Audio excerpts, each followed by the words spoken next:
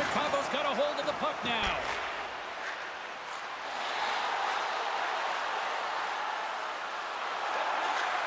Grabs it